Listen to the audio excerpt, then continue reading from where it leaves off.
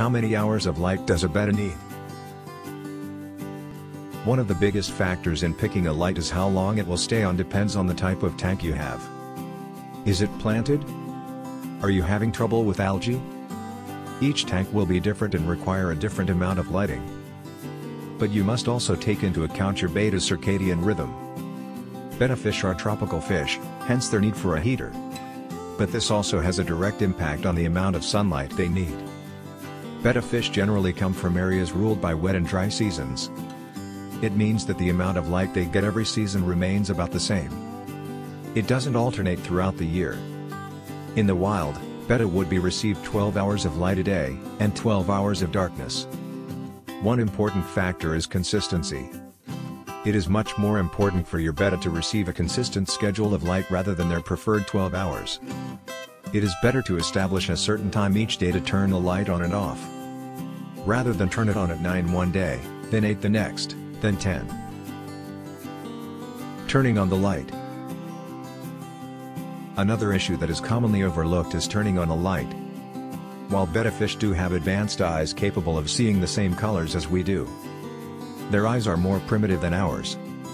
We can adjust our pupils to different levels of lighting in just a few seconds. Betta fish cannot. Most fish take around 30 to 60 minutes to adjust to different lighting levels. If you suddenly turn on the light, you could damage your betta. Betta fish are sight predators. So their eyes are extremely important to their well-being. Without them, they will be unable to locate food and may starve to death. The best way to go about turning on a light is to first turn on another light in the room. Turn on another light as an ambient light for about 30 minutes before turning on your betta's light.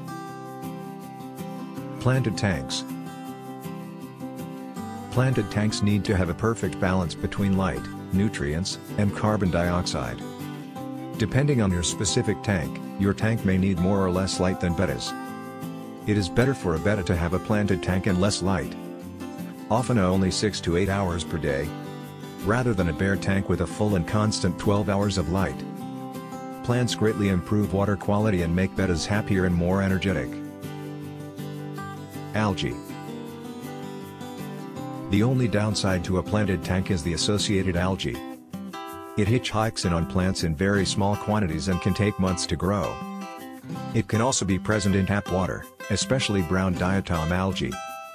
If you experience a sudden growth of algae, this means that there is either excess nutrients, excess lighting, or excess carbon dioxide that the plants cannot use. The best way to combat algae is to knock down the light to only 4 to 6 hours per day.